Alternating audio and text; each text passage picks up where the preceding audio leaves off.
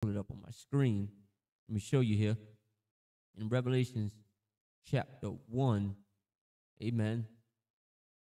It says at verses 3, it says, Blessed is he that readeth, and they that hears the words of this prophecy, and keep those things which are written therein, for the time is at hand. He says, Keep those things that are written. Are you hearing me? The Father says, Keep those things that are written. Oh, amen. He said, Keep them. He didn't say add, he didn't say take away, but he said, Keep those things that are written. Why did the Lord says keep those things that are written? Because the Lord knew in the last days many people are going to try to add and take away to the word. Oh, amen. We're going I'm gonna teach you tonight. This is what we're gonna do. So, Father Lord, we thank you tonight, Father. We thank you for life.